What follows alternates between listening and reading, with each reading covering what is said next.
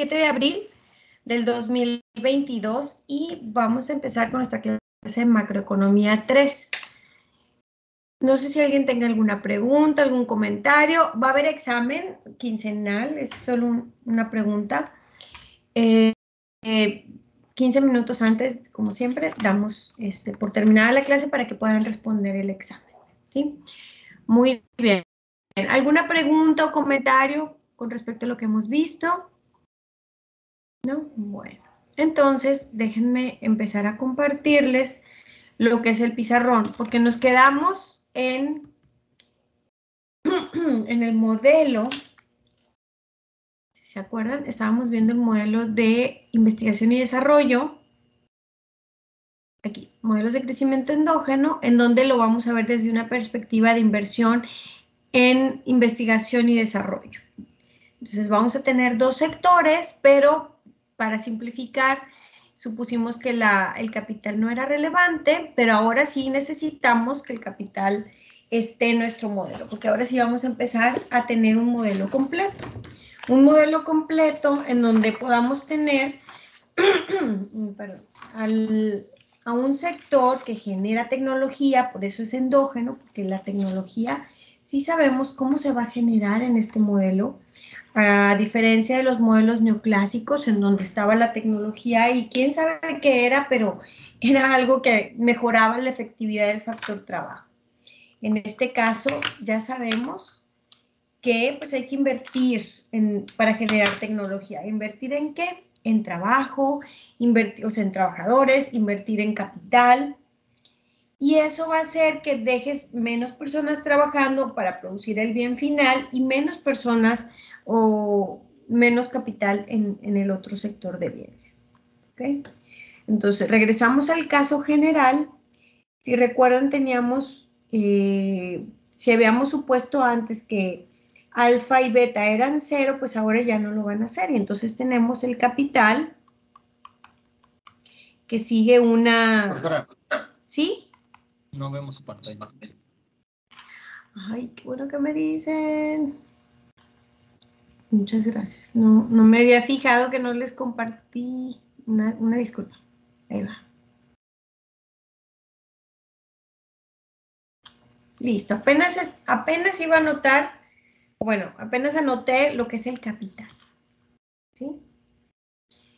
Que esto pues es, viene de solo, ¿verdad? Viene de lo que ya habíamos dicho, va a haber una forma de acumular el capital que va a ser de forma exógena constante, proporcional a la producción. Sabemos que la función de producción en este caso utiliza una parte del capital y una parte de los trabajadores. ¿sí? Esa va a ser la diferencia. Vamos a tener una proporción de capital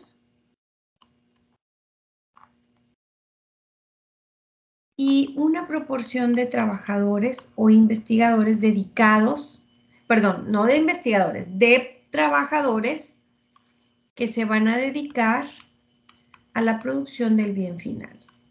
En esta función de producción tenemos rendimientos constantes a escala, tenemos rendimientos marginales decrecientes en el capital, o sea, igual que siempre. ¿Qué sigue? ¿Qué otra cosa? Bueno, ahorita regresamos a la, tecnología, pero ¿qué, tenemos que encontrar?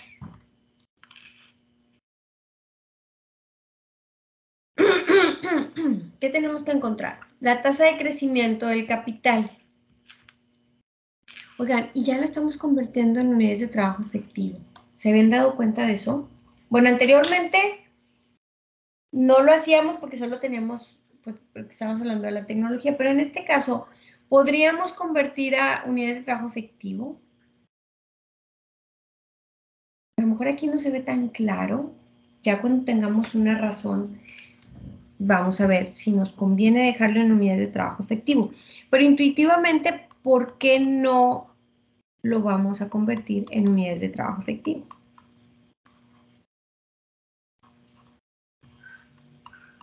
Esta sería la tasa de crecimiento del capital que sería K puntito entre K.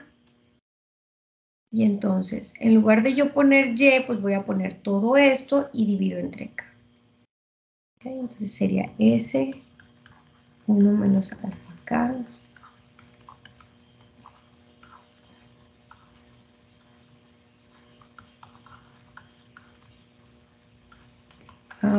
L. Entonces hasta ahorita solo anoté S por Y, y Y es todo esto. Entre K. ¿Ok? Hasta ahorita no he hecho nada más que sacar la tasa de crecimiento del capital. ¿Qué es lo que vamos a encontrar? Que esta tasa de crecimiento del capital depende del capital mismo, depende de la tecnología y depende de la población. Y estas son variables que van cambiando en el tiempo porque dependen del tiempo. Entonces, vamos a tener una tasa de crecimiento del capital que no es necesariamente constante. ¿Ok? Igual que lo que igual que lo que habíamos hecho anteriormente con la tecnología. Entonces tendríamos que sacarle la tendencia a esta razón que, del capital puntito entre K, que es la tasa de crecimiento del capital. Entonces vamos a tener otra vez la tasa de crecimiento de la tasa de crecimiento del capital. ¿Ok? Porque no es constante.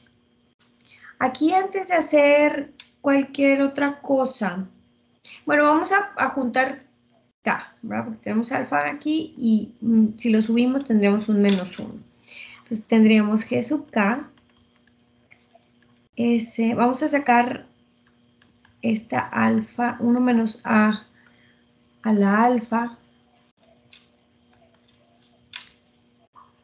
y dejo K a la alfa, menos 1, ya subí esta, me queda 1 menos a sub L a la 1 menos alfa. Me queda A a la 1 menos alfa, L a la 1 menos alfa. ¿Sí? Entonces yo veo que lo que no depende del tiempo es una constante y si yo le aplico logaritmo y le saco la derivada con respecto al tiempo, pues va a ser cero. ¿Qué voy a hacer? Voy a, voy a definir una constante de k en donde voy a poner todo lo que no cambia en el tiempo, solamente para simplificar y no tener que anotarlo. Doctora, una pregunta. La K que multiplica a 1 menos A subíndice K al alfa, ¿es K en unidades de trabajo efectivo o, solamente es capital? Es capital. Ok. Nadie me respondió por qué no podríamos ponerlo en unidades de trabajo efectivo. Pero es el capital, este, ¿verdad? O sea, es el capital sin ninguna transformación, el que viene en la función de producción. ¿Ok? Entonces,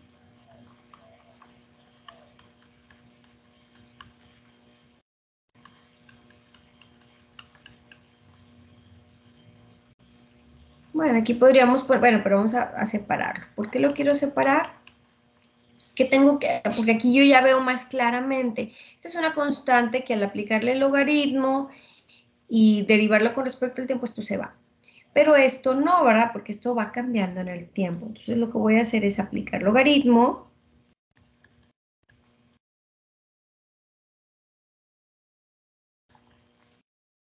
más alfa menos 1 logaritmo de k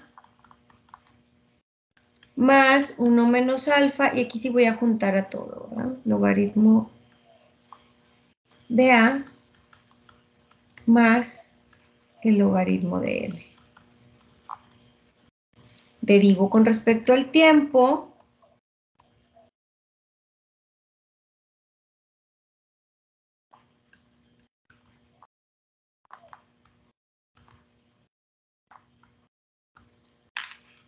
Y entonces me queda G puntito de K entre GK. O sea, tenemos la tasa de, o sea, G de K es una tasa de crecimiento del capital. Pero ahora veo que no es constante porque depende de estas variables, entonces hay que sacarle la tasa de crecimiento. Esta va a ser cero porque es constante, no depende del tiempo. Esta va a ser K mayúscula entre K, o sea, no tenemos ninguna transformación todavía. Y aquí vamos a tener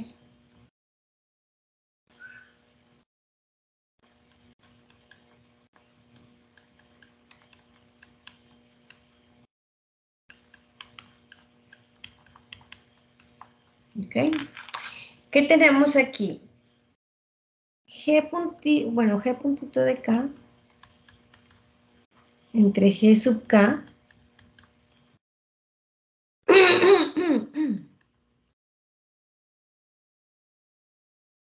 Esto es G sub K. K puntito entre K es G sub K. Más 1 menos alfa. A, a puntito entre A es G sub A. Ya lo habíamos definido así. Y dijimos que L puntito entre sea, la tasa de crecimiento de la población sigue siendo N. Entonces, ahora ya podemos tener una tasa de crecimiento del una tasa de crecimiento de la tasa de crecimiento del capital que depende de la tasa de crecimiento del capital, de la tasa de crecimiento de la tecnología y de la tasa de crecimiento de población, aparte de las de alfa, ¿verdad? Que aquí a lo mejor podemos hacer algo, incorporar, podemos incorporar esta G adentro del paréntesis porque es con signo inverso, y lo podemos incluir aquí, ¿verdad? Eso, eso también podemos hacer. O al revés, ¿verdad? Poner esto aquí adentro con el signo inverso.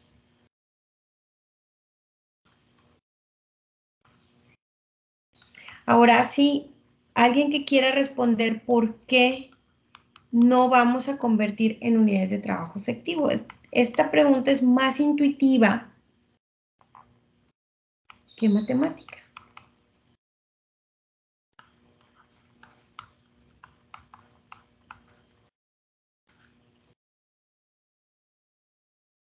Aquí sabemos que alfa está entre 0 y 1, porque estamos suponiendo rendimientos constantes a escala. Entonces, alfa está entre 0 y 1. En estado estacionario, g puntito de k es 0. O sea, la tasa de crecimiento no crece, no cambia. Volvemos otra vez a nuestra definición del estado estacionario, en donde estas tasas de crecimiento deberían de ser cero. Oigan, pero ¿por qué no lo, no lo hacemos en unidades de trabajo efectivo? ¿No hay, no, hay, ¿No hay alguien que quisiera intentar responder? No no este, a veces lo tienen, tienen y saben por qué es y, les da un poquito de miedo decirlo. Mi sugerencia es que lo digan.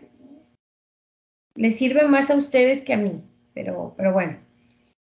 La razón es porque, ¿qué pasa cuando tenemos una razón en donde los dos, numerador y denominador, están cambiando? ¿Les dice algo?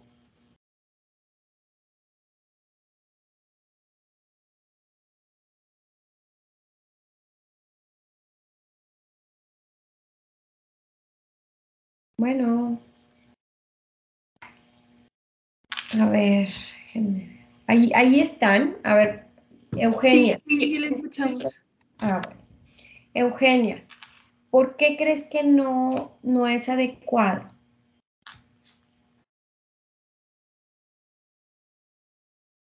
¿Qué pasa mm. cuando las dos están cambiando?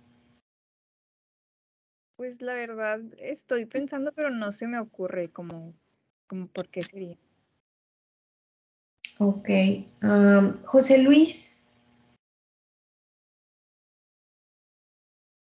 Pues a mí me da que si las dos cambian para que esté en estado estacionario y sea cero, pues que los cambios porcentuales sean iguales, tal vez a proporcionales, pero no sé.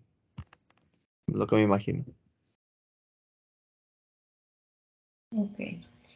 Miren, la verdad es que cuando tenemos, o sea, no lo hacemos en unidades de trabajo efectivo aquí porque la A es endógena. ¿sí? Anteriormente era ceteris paribus y entonces la A y la L pues eran exógenas y entonces teníamos como que una referencia que era conocida. Aquí la A es endógena. Entonces no nos sirve tenerla como una razón. ¿sí? En este caso no podríamos hacerlo así, entonces las analizamos de forma diferente, ¿sí? O sea, sin convertir. Bueno, entonces, ¿cómo, ¿qué sigue después de esto? ¿Se acuerdan? Esto ya lo habíamos hecho para la tasa de crecimiento de la tecnología. Ahora lo vamos a hacer para la, del capital, pero después regresamos otra vez a la, a la tasa de crecimiento, de la tasa de crecimiento de la tecnología, porque sabemos que no es constante. Y sabemos además que, pues, con alfa diferente de cero y beta diferente de cero, pues va a tener que estar en, o va a modificarse la, eh, la razón que teníamos anteriormente, o sea, a puntito entre A y su crecimiento en el tiempo. ¿Hasta aquí alguna pregunta? ¿No? Bueno.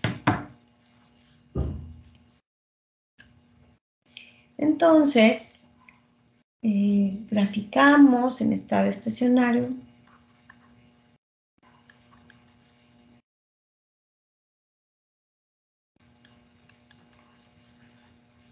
Entonces tendríamos 1 menos alfa.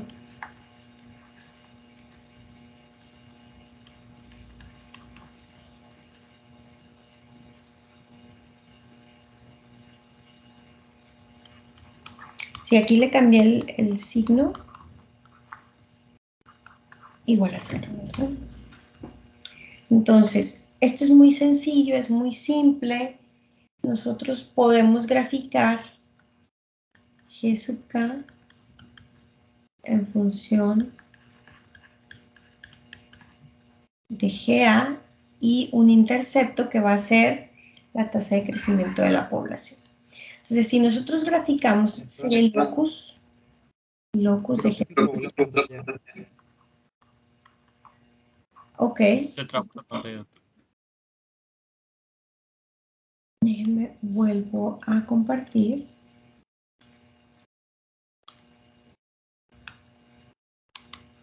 Ok. Eh, ¿Ya logran verlo?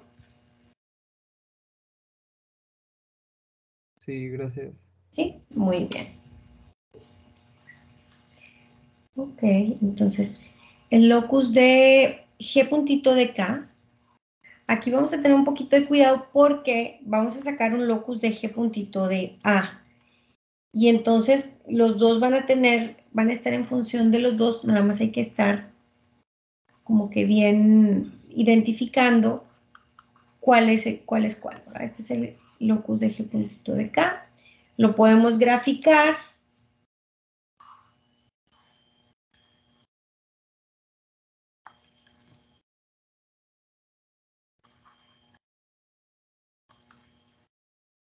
Okay.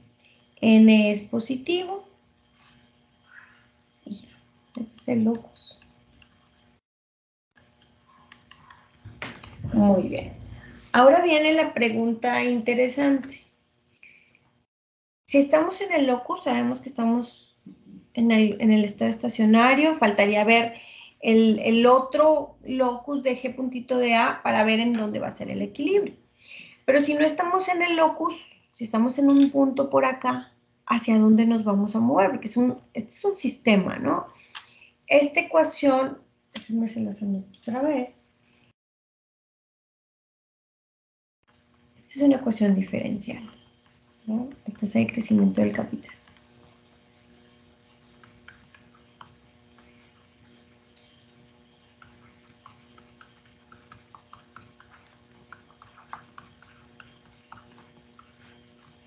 Entonces, si no estamos en el locus, nos vamos a mover.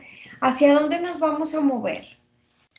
Hacia arriba, hacia abajo, hacia un lado, hacia el otro. ¿Quién es el que nos dice hacia dónde nos vamos a mover? No sé si alguien quisiera responder y si no, pues me pregunto. Mm, Dylan, ¿hacia dónde nos moveríamos? ¿Me escuchó? Sí.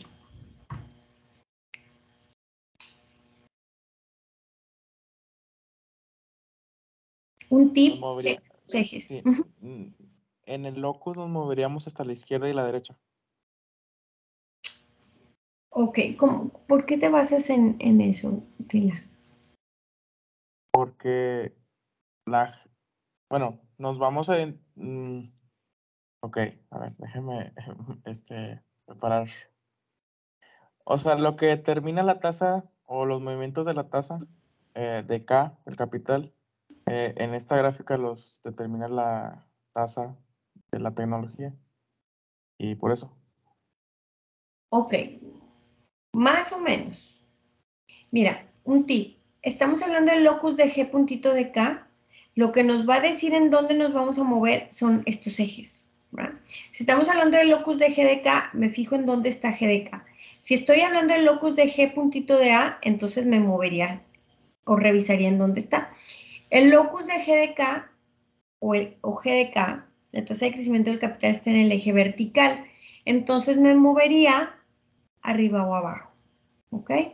Si estoy hablando del locus de G puntito de A, entonces me muevo hacia los lados. ¿Ok? Si es, si es complejo, bueno, si es confuso porque tenemos aquí a los dos, ¿no? Pero hay que recordar que esto vino de la tasa de crecimiento del capital. ¿Sí, Dylan? Sí, maestra, gracias. Muy bien. Bueno, entonces, ¿cómo le hacemos para saber si vamos para arriba o para abajo o de acá para arriba? O sea, ¿cómo, cómo lo sabemos? Vemos en nuestro diagrama, en nuestra ecuación diferencial, la voy a señalar con otro color, porque es la que nos va a decir hacia dónde nos vamos a mover.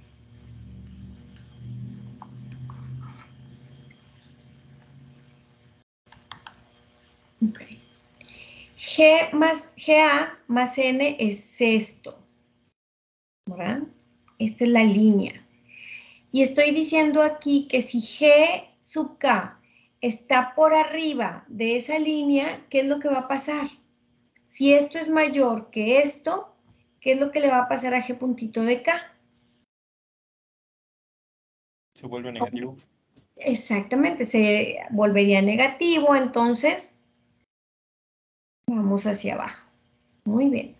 Entonces aquí sería G puntito de K negativo y si G puntito de, perdón, si G sub K fuera menor que todo esto, o sea, estuviera por debajo de esta línea, GK sería muy pequeño. Esto compensa cualquier valor de GK que esté por abajo, entonces sería positivo, ¿verdad?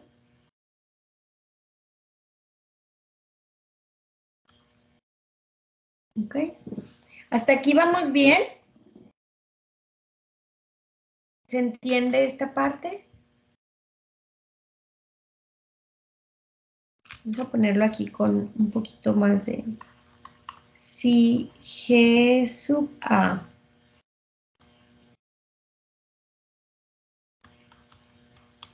más N el primer caso era que, era menor que G sub K. Entonces, G puntito, ay, este, ¿verdad?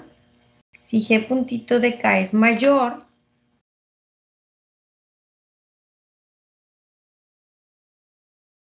entonces este crece. No, ¿verdad? Al revés. GK está por acá. Y es esta línea. ¿Cierto?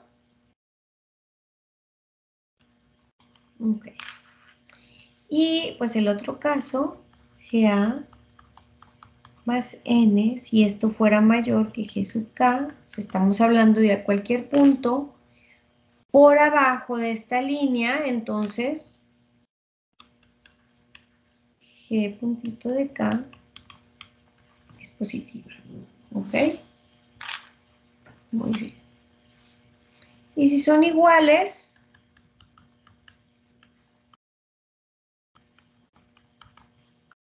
entonces estamos en el locus. ¿Ok? Muy bien. ¿Hasta aquí alguna pregunta? ¿No? Bueno. Doctora, a mí no me quedó como que muy clara la explicación de porque cuando G puntito de K es mayor a, a cero, sube y cuando es el contrario baja. O sea, las, el sentido de, de las flechas. En la gráfica. Mm, pero, eh, o sea, ¿no te quedó claro en términos matemáticos o la intuición? La intuición. Ok, de por qué se reduce.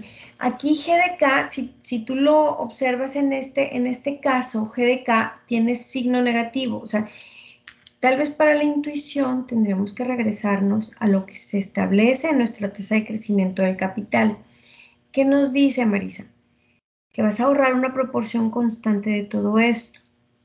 Este capital, eh, capital, tecnología y población y vemos que va en sentido contrario, ¿no? El capital y toda esta línea que representa la tasa de crecimiento de la población, de la población y de la tecnología.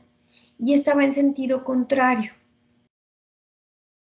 ¿Qué querría decir? O sea, acumulas, o sea, es, es como un trade-off, ¿no? Entre tecnología y capital. ¿Sí? pero tampoco es un trade-off absoluto, porque también el capital que tengas lo puedes utilizar para la generación de tecnología, solamente que en esta parte estamos hablando de la inversión en capital, en donde una proporción constante va a la producción del bien final. ¿Ok? Entonces, se reduce, si, si este nivel de capital es muy alto, pues va a reducir, esta, va, a estar reduciendo la acumulación de capital, este, la tasa de crecimiento. O sea, no puedes tampoco, tiene que haber una, debido a esta situación, tienes que estarle restando eh, el valor, el valor de GDK cada vez que es mayor, pues le va, a, le va a quitar valor a esto, ¿no? Entonces se va a volver negativo.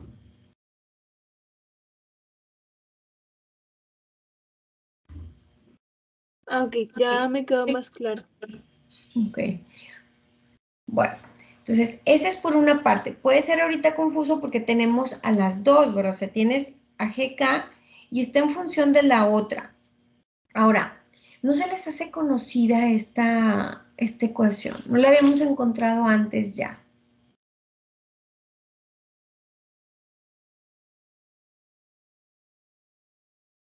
Con otra notación ligeramente diferente.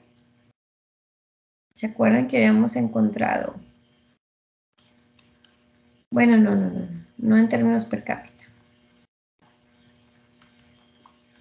Que la tasa de crecimiento del capital era N más G. ¿Se acuerdan? En solo. ¿Se acuerdan? ¿A qué llegamos? Este es K puntito entre K. O sea, G de K es una forma de poner esto.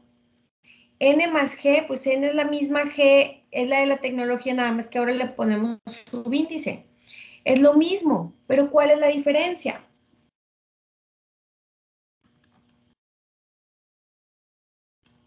No de notación, sino en el sentido. ¿Cuál es la diferencia?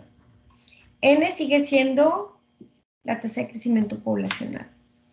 Pero GA, ¿cuál es la diferencia ahora? Ahora es endógeno, o sea, la tecnología la volvemos como que endógeno, ya no es constante. Muy bien, exactamente. Ahora ya sabemos cómo generar tecnología. Entonces, por eso el modelo de solo, a pesar de ser tan restrictivo y a pesar de suponer que la tecnología, pues quizá que es, pero afecta, aquí ya estamos diciendo de qué forma la tecnología o el crecimiento tecnológico contribuye al crecimiento. ¿sí? Entonces, esta es una parte del, del equilibrio, nos falta la otra. ¿Cuál es la otra? Pues la tasa de crecimiento de la tecnología. Pero solo quería recalcar que esto es un resultado que nosotros ya habíamos encontrado en solo. ¿okay? Entonces, para el crecimiento tecnológico,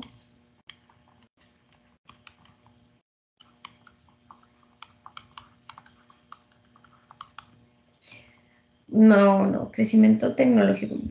Para la tasa de crecimiento, bueno, crecimiento tecnológico sería A puntito entre A. Vamos a ponerlo así. esta sería la tasa de crecimiento de la tecnología.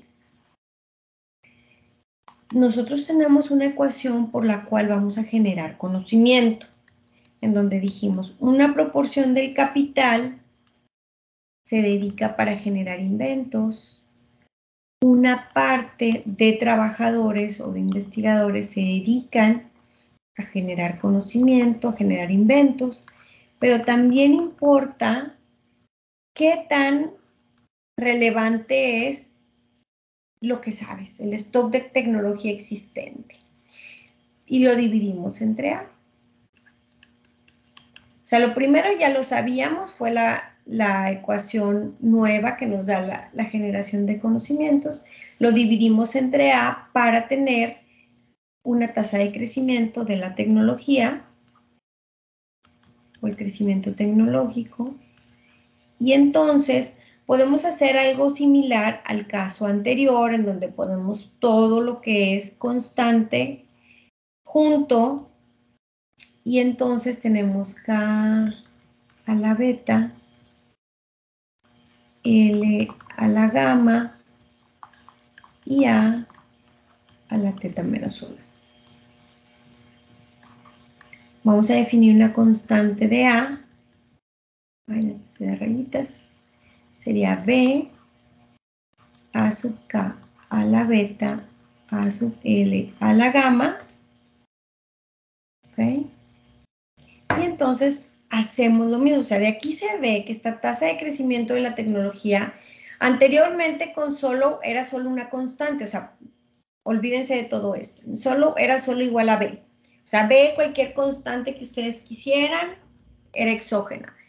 En estos modelos de crecimiento endógeno nos damos cuenta que no, no es solo una constante, es algo que depende del capital que tengas, que tanto contribuye a esta generación de conocimientos, el número de trabajadores que se dediquen a eso y lo que sabes. Y eso que sabes o el stock de conocimientos, de inventos, te puede permitir saber más o descubrir más cosas o puede hacer el proceso de generación de más conocimientos un poco más lento, dependiendo en cuál sea la situación de la economía. ¿sí? Entonces, aplicamos logaritmo.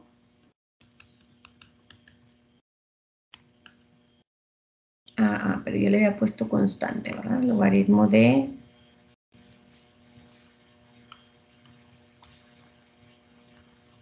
CA más beta logaritmo de K más gamma logaritmo de L más teta menos 1 logaritmo de A.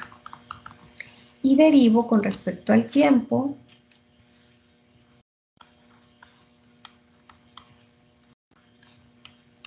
Esto es una constante, lo cual se va a cancelar.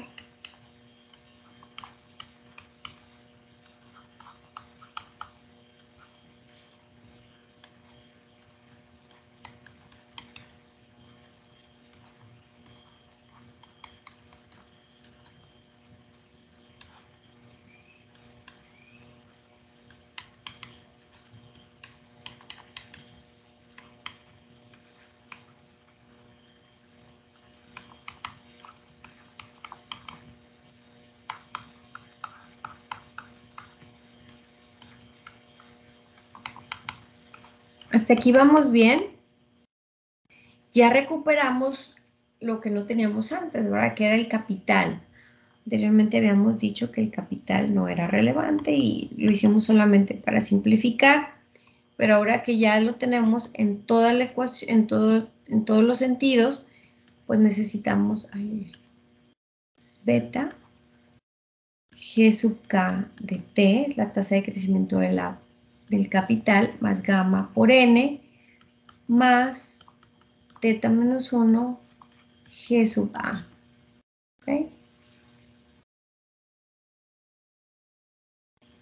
Y ya. Y hasta ahorita tenemos esta tendencia, la cual, pues tenemos que ver qué, qué nos dice, ¿verdad? En el estado estacionario podemos sacar el locus, el estado estacionario, las tasas de crecimiento son cero, o sea, la economía esta no va a crecer. tendríamos que beta G sub K más gamma por N más teta menos 1 por G de A es igual a 0. ¿Ok? Deberíamos de despejar para G sub K para poder graficarlo igual que lo teníamos en el otro caso. Nos queda gamma n más teta menos 1 g de a entre beta. ¿Ok? ¿Podemos hacer más? Pues sí, podemos separar el intercepto gamma por n entre beta. Oiga, no me equivoqué aquí, sí, ¿verdad? Esta la estoy pasando acá y esta también la estoy pasando para acá, entonces me equivoqué.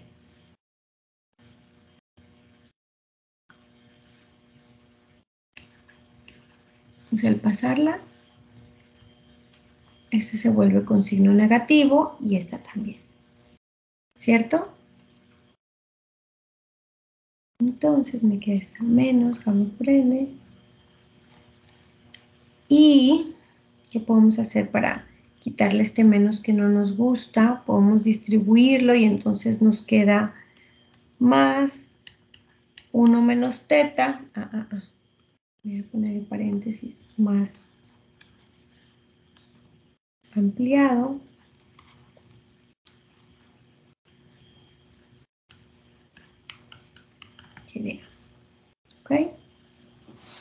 ¿Quedó claro esta parte que, que sacamos por aquí?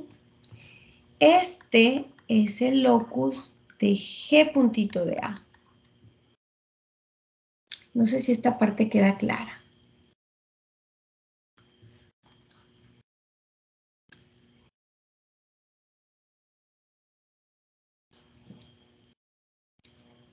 ¿Por qué? Porque empezamos o partimos de la tasa de, crecimiento de la tecnología. ¿Hasta aquí alguna pregunta?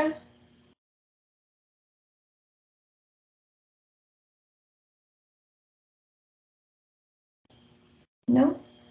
¿Vamos bien? Bueno. Oigan, ¿qué problema tenemos al poder graficar este locus de GDA? O sea, si lo graficamos aquí, vamos a hacerlo aquí en pequeño. GA, GK.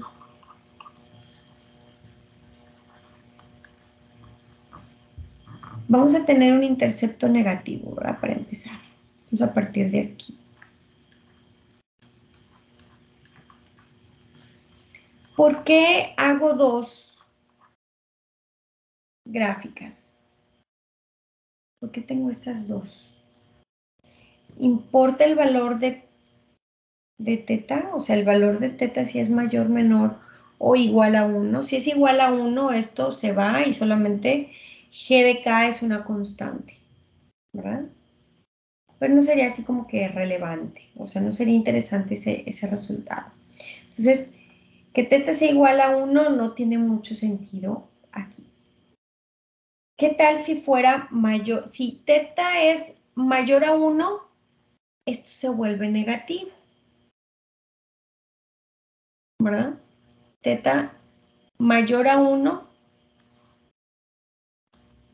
¿cómo sería? Ay, se me hace que tendría que dibujar otra vez esto.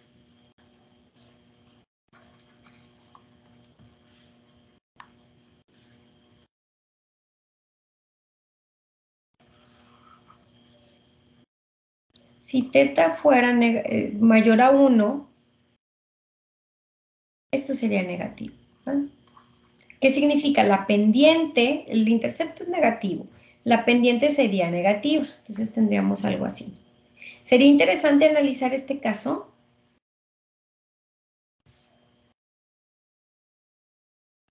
¿Qué opina? ¿Sí o no?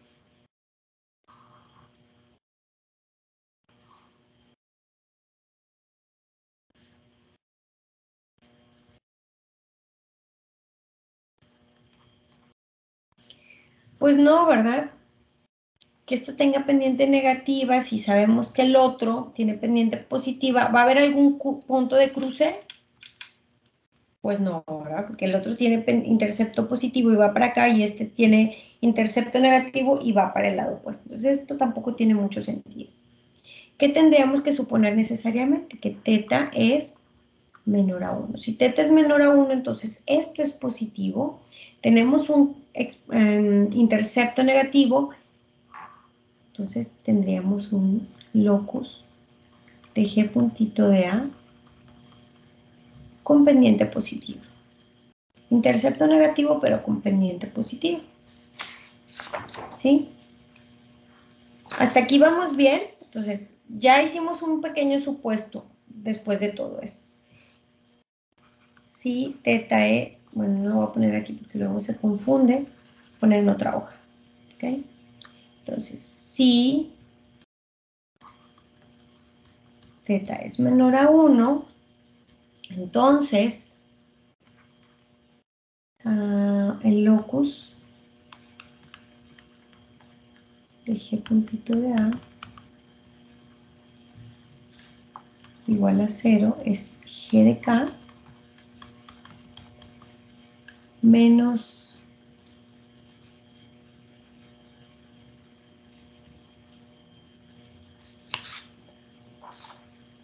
gamma n entre beta más 1 menos teta entre beta de GA. Y si queremos graficarlo, suponiendo que teta es menor a 1, o sea, todo este intercepto, perdón, toda esta pendiente es positiva, lo.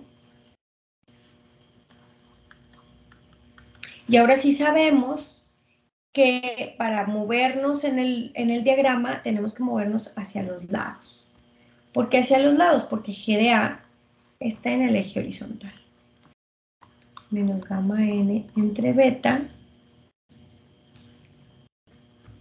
dibujar en otro color.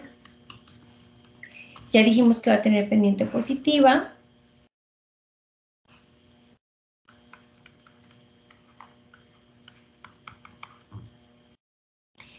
Pero si, estamos, si no estamos en el locus, si estamos en un punto como este o en un punto como esto, la economía se va a mover.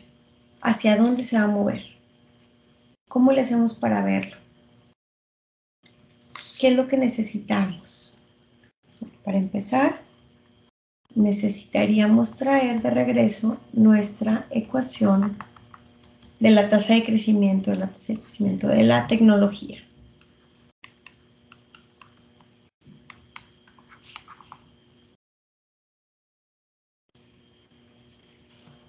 Mm, si estoy anotando la que es.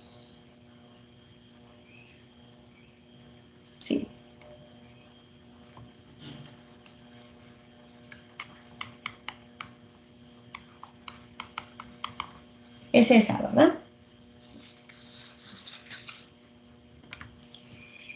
Y entonces, ¿cómo le hago para ver? Si teta es menor a 1, dijimos eso, ¿verdad? Teta tiene que ser menor a 1. Teta menor a 1, entonces todo esto es negativo, ¿cierto? Entonces, todo lo demás es positivo. Si G de A es un valor bien grandote, donde vemos los valores muy grandes de GA, por abajo de estos, ¿verdad? Por abajo de esta línea. Entonces, por abajo de esta línea, nos movemos hacia el origen, reduciendo la tecnología. Y por arriba, o sea, cuando estos valores de GA que están restándole a estos otros términos, es muy pequeño, están más, están este, los valores de GA están hasta este rango en el, plano horizontal, pues vamos a tener que esto va a ir aumentando. ¿Hasta dónde? Pues nuestra línea de delimitación es el locus. Entonces G puntito de A va a crecer. ¿Ok? Hasta aquí vamos bien. Oigan, si queremos graficar los dos, o sea, para graficar o para encontrar el estado estacionario que tendríamos que hacer. tenemos que hacer que el locus de G puntito de K y el locus de G puntito de A sean cero y sean iguales, ¿no? Una intersección entre estos dos. Oigan, pero este tiene pendiente positiva. Su pendiente es 1 menos teta entre beta.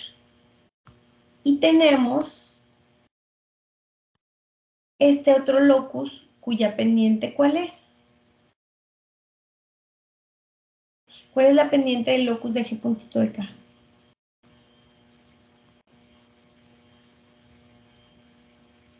Uno. Uno. Es uno, muy bien, Perales, es uno.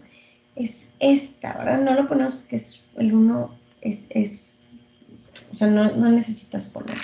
Entonces tendríamos que comparar la pendiente de este locus con la pendiente de, la, de este diagrama de fase, o sea, con G de A. ¿Cuál de las dos sería, sería mayor? Entonces, comparar pendientes. 1, bueno, vamos a ponerle un teta menos 1 mayor, menor o igual a 1.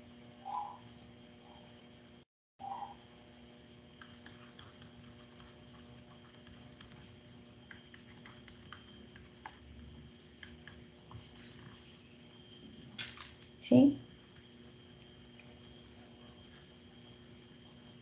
¿Cuál es mayor o cuál es menor?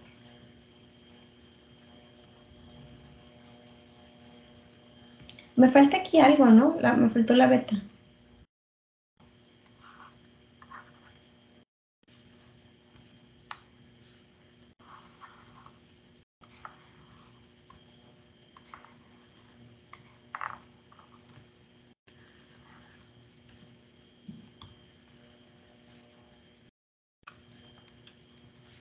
Tengo que comparar las pendientes. Esta pendiente con la otra. No sé si hasta aquí vamos bien, si hasta aquí va claro. Vamos a tener un sistema, ¿verdad? Un sistema de ecuaciones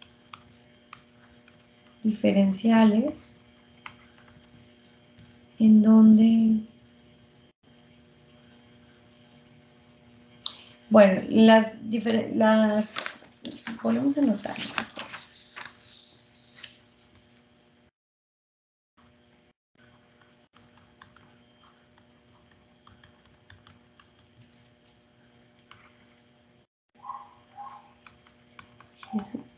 Más gamma por N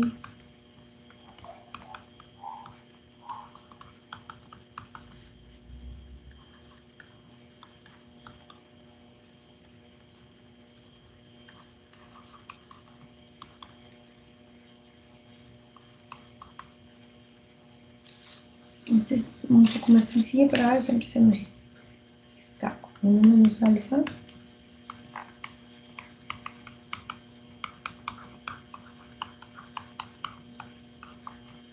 Ok.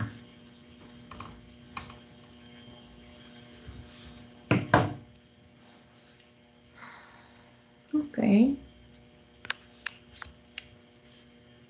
¿Qué otra cosa?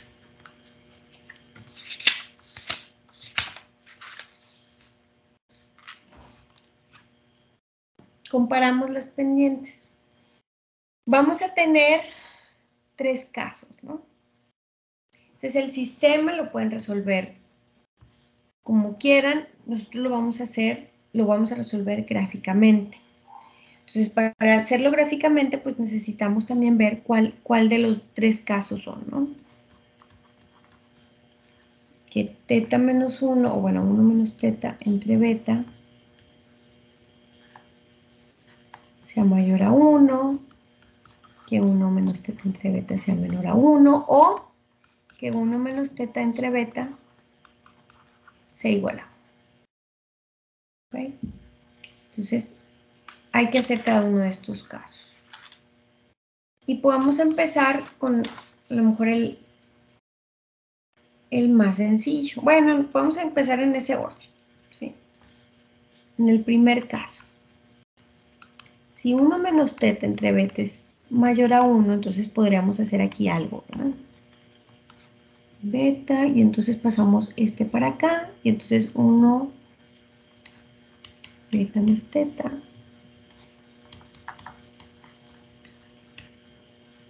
que beta más teta sea menor a 1. O sea, vamos a terminar con un caso así. ¿Qué estaríamos diciendo aquí? El locus o la pendiente de cuál locus es mayor. La pendiente del locus de G puntito de A es mayor. ¿Ok? La pendiente de G puntito de A es mayor que la pendiente de G puntito de K. Eso es lo que estamos eh, diciendo, ¿verdad? ¿Cómo la graficamos?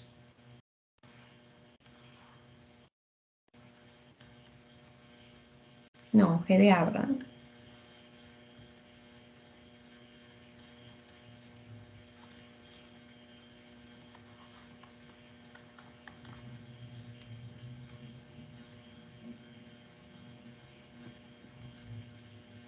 ¿Cuál quieren que grafiquemos primero?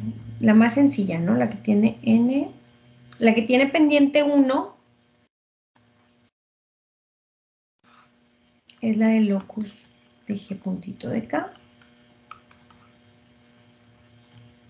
Y esta es g de k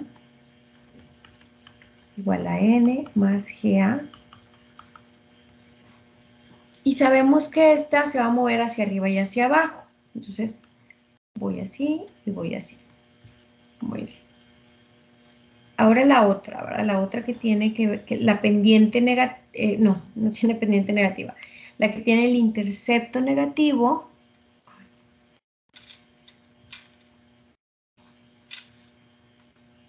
Hacerla en verde.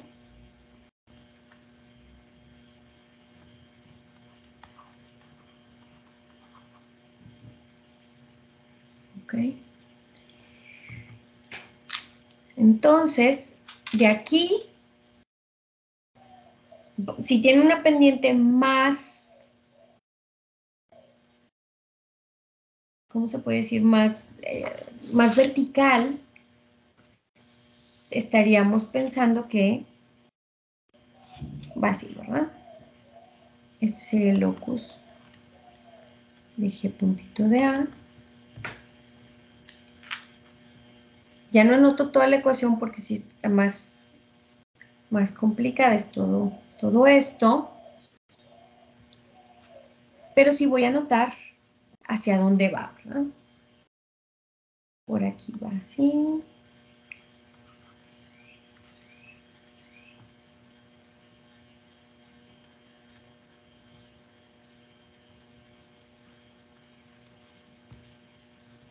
Esto. Y voy a anotar las otras flechitas, ¿no?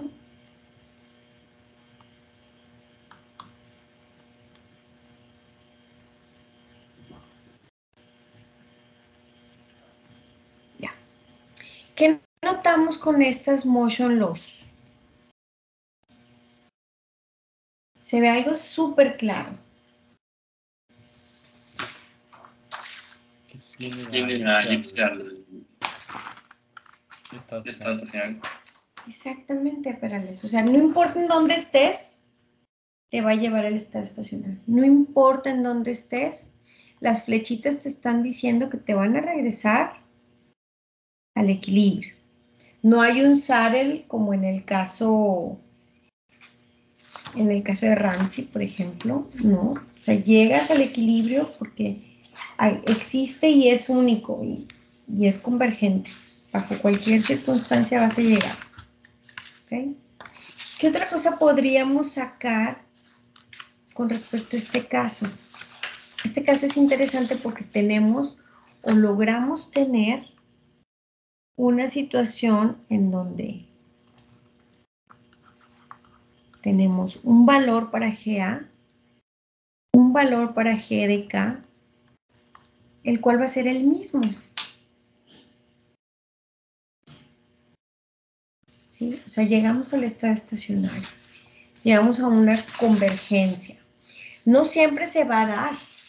O sea, aquí tenemos un caso muy especial, no siempre se da. ¿Okay? ¿Hasta aquí vamos bien? Vamos a ver qué es lo que pasa en el estado estacionario y si podemos encontrar a qué es, a qué es igual ese valor. En estado estacionario vemos que g puntito de k es igual a g puntito de a. Y entonces n más ga estrella, porque ya estamos evaluando en el estado estacionario donde van a ser iguales, ya lo vimos.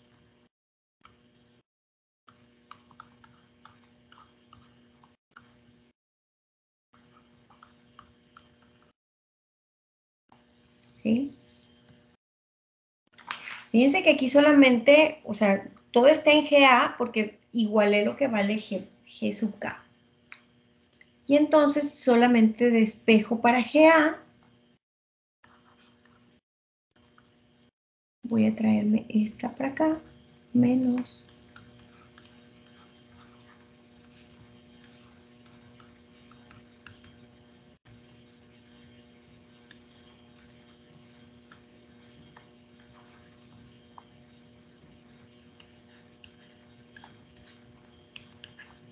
esta la mando para allá. Y pues aquí hay que hacer un, un proceso de beta más teta menos 1. Sí. Y todo por GA estrellita. Aquí le saco el menos.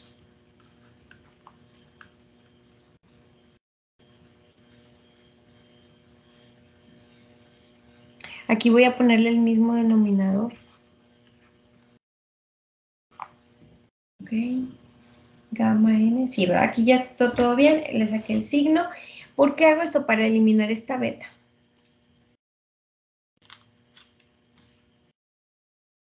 Entonces, beta más teta menos 1.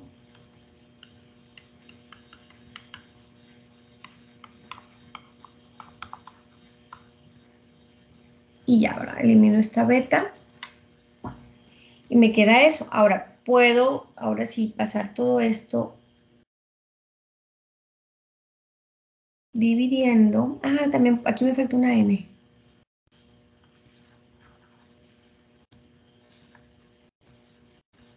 Esa n. ¿Sí? Mm, ¿Qué otra cosa puedo hacer? Pues bueno, pudiera sacar la n de factor y entonces solo me queda gamma n. Pero bueno, ahorita lo podemos hacer. Entonces, la tasa de crecimiento. Bueno, todavía no acabo.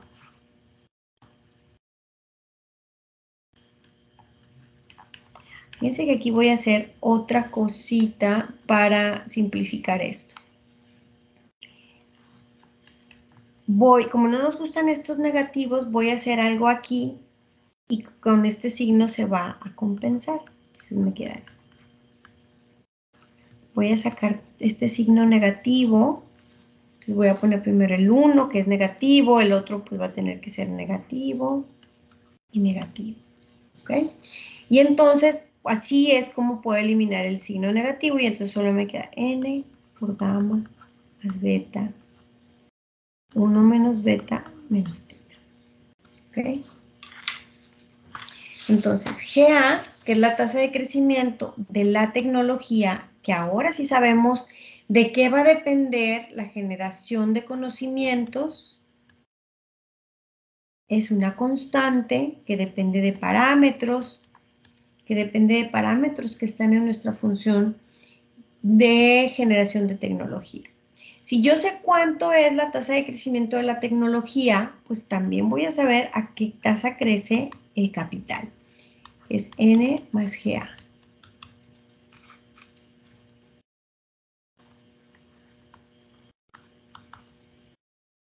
Es Este sería n más n gamma más beta.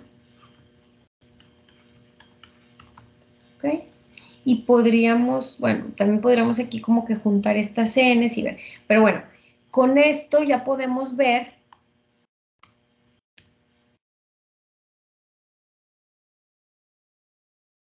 que no, no van a ser, eh, ay, este es K, perdón, perdón. O sea, con esto podemos ver que no es que G, la tasa de crecimiento del capital y la tasa de crecimiento de la tecnología van a ser iguales. ¿Qué es lo que sí es igual? Las tasas de crecimiento de las tasas de crecimiento. Van a converger, van a intersectarse en algún punto, pero el valor de la tasa de crecimiento es una constante. ¿Por qué le vuelvo a poner GA? Es GK, perdón. Este es.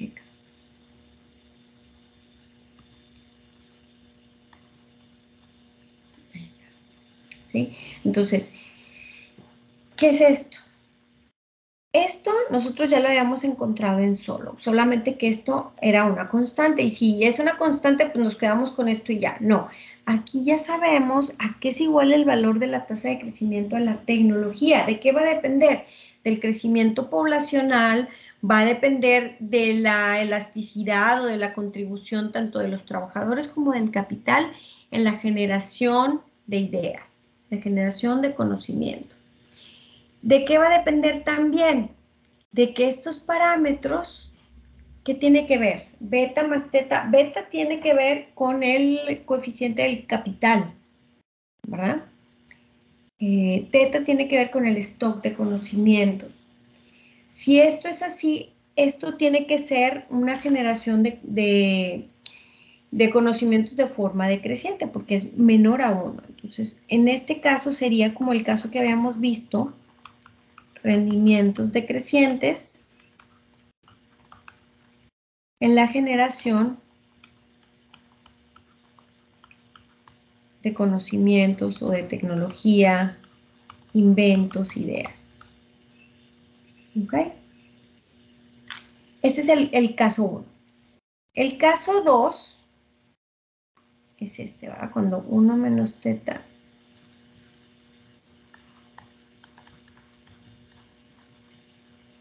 Ay, ya no sé, ¿es mayor o menor a 1? Menor a 1 me parece, ¿no? Sí, menor a 1. Ok.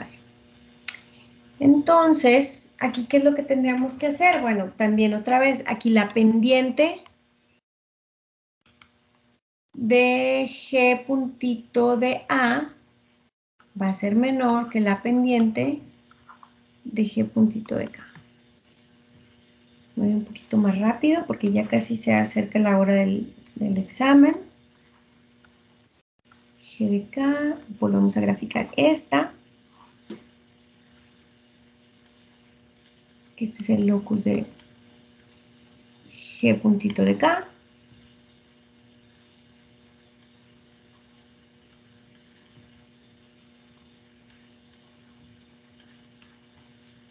la verde, que va a ser la aquí, menos gamma por n entre beta. Pero aquí estamos diciendo que la pendiente va a ser menor que esta. Entonces, la más inclinada va a ser esta. Y la otra es positiva, pero tiene una pendiente menor. O sea, va a ser un poquito más... Ay, ¿cómo les puedo decir? no es negativa, tiene pendiente menor, o sea, no va a ser tan, tan vertical. Más acostada. Sí, perdón, más acostada, más horizontal, quise decir. Sí, gracias. Ay, no sé cómo hacerla, pero bueno. Así. Y este es el locus de G puntito de A. ¿Qué es lo que notamos aquí?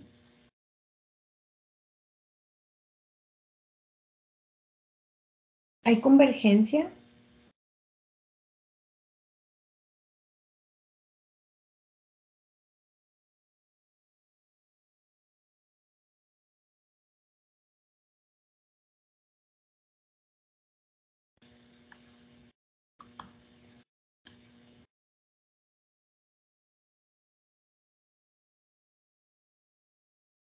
Pues no, ¿verdad? O sea, no, no se van a intersectar estos dos locus, no va a haber un equilibrio, no va a haber un equilibrio convergente.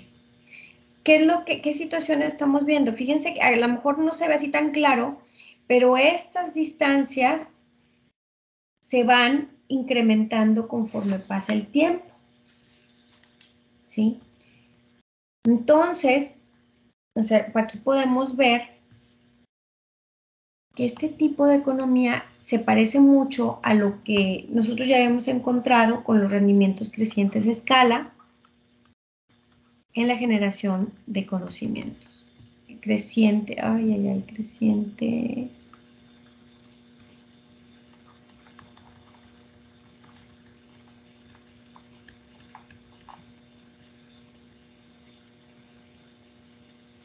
En, el- en la acumulación de conocimientos, más bien.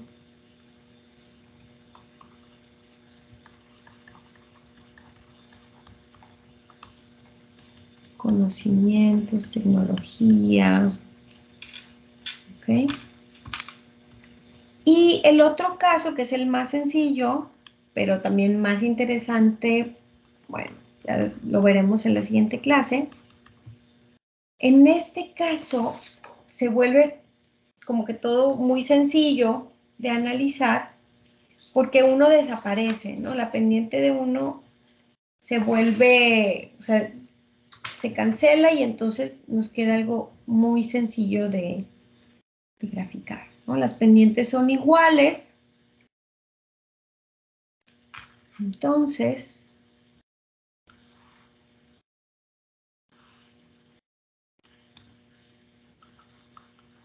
otra vez grafico primero este que es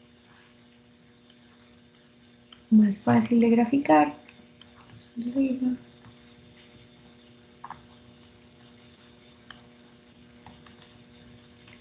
Seguimos suponiendo, aquí tenemos que hacer n diferente de cero para que exista la diferencia, porque la pendiente va a ser la misma. ¿Ok? Aquí vamos así, por aquí vamos al origen. ¿Ok? Entonces, aquí va a ser otra, una situación más o menos similar a la anterior, pero la diferencia entre estos, entre estos dos locus, es constante. Entonces, tenemos rendimientos constantes a escala en la generación de conocimientos o en la acumulación de conocimientos, acumulación de tecnología.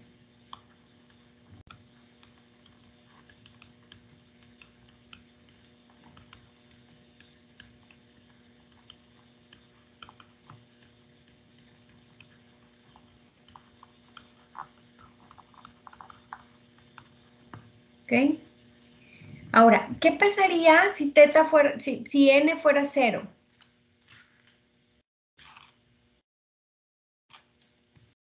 Si 1 menos teta entre beta es igual a 1 y n es igual a 0, entonces partimos del origen y g puntito de k es igual a g puntito de a igual a 0.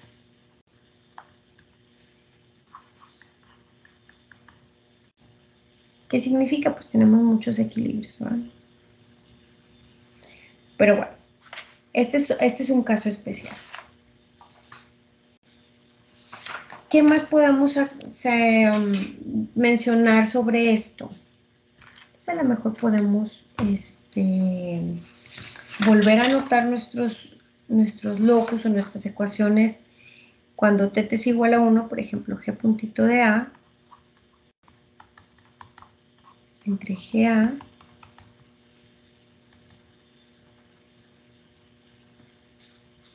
Bueno, no esta, ¿verdad? La G, solo el locus. Esta.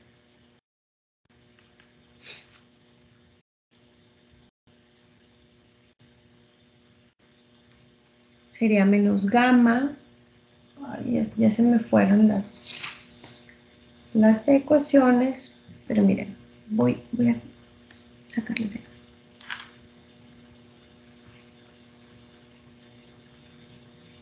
De aquí, ¿ok? O sea, esta no cambia, pero esta al transformarla en G de K, esto se vuelve 1. ¿verdad? Estamos diciendo que es igual a 1, entonces se simplifica bastante nuestro problema y llegamos a una situación en donde esta diferencia va a ser constante. Hay más que hablar sobre, esta, sobre este caso, nos va a dar para llegar a otro modelo que es bien importante porque también eh, podemos incluso suponer que no hay crecimiento económico, que no hay crecimiento tecnológico y puede haber crecimiento económico. ¿sí? Pero ese es un caso que va, vamos a partir de este. Entonces, quisiera este, continuar con esto, pero en la siguiente clase, ya ahorita prepárense por favor para su examen. El examen ya está en el grupo. Eh, ya nada más sería que empiecen a prender sus cámaras y tengan acceso al examen que empieza a las 12.15.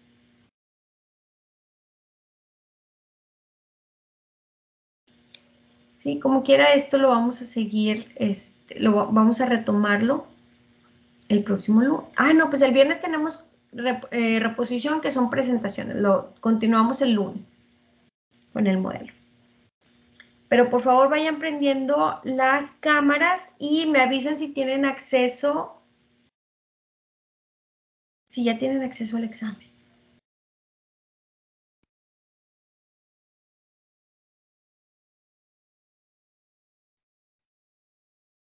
Doctora, Doctora dice, dice,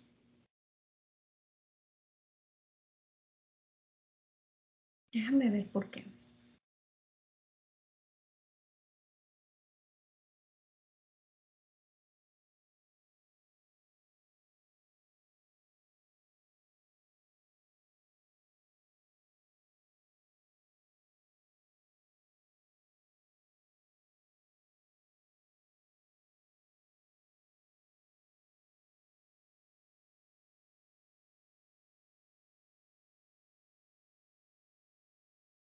Dice 27, sí, es esta. No sé por qué no, no los deja.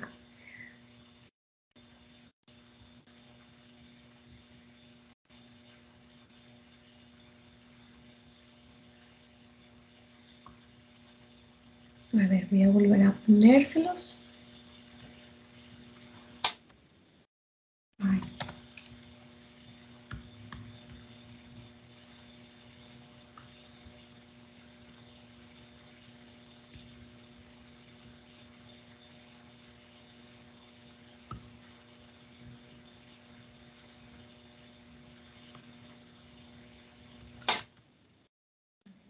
favor, revisen si ahora sí los dejan. No, no los deja. Ni- No entiendo por qué.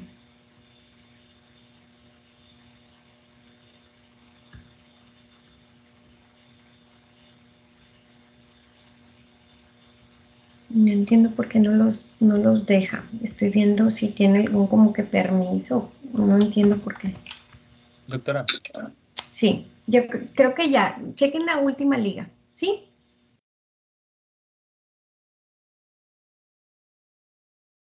¿Ya pudieron? Sí. Perfecto. Sí, como que tenía un candado adicional, no lo había visto. Muy bien, adelante.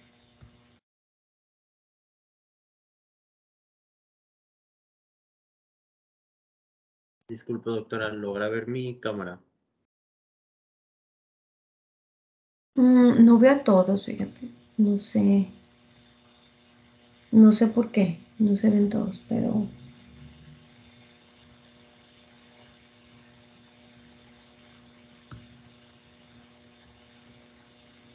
Sí, creo que ya te vi.